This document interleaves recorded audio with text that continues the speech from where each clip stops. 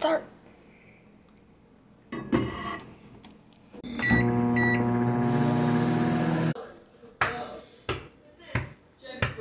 Break the tip. See it break.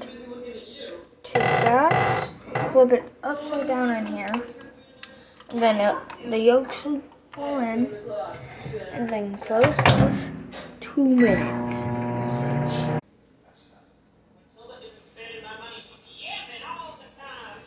Do this. Don't burn your hand.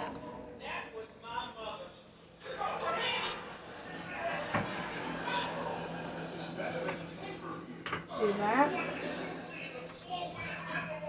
You will burn your hand just a little, kids.